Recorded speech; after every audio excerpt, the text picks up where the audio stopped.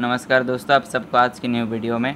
आज की इस वीडियो में माजा गॉन्डो कंपनी का शेयर प्राइस के बारे में डिस्कस करने वाला हूँ। क्या कुछ सिक्स सितंबर के दिन स्टॉक पे देखने को मिल सकता है तो वीडियो को एंड तक ज़रूर देखना। मैं इसका एनालाइज डेली चार्ट पे कर रहा हूँ। तो सबसे पहला स्ट्रॉन्ग जो सपोर्ट आप लोग फॉलो कर सकते हो, जो कि यहाँ पर है। ये जो आप लोग देख रहे हो गई four thousand five hundred seventy three point eighty जो है, इसका सबसे पहला स्ट्रॉन्ग सपोर्ट है।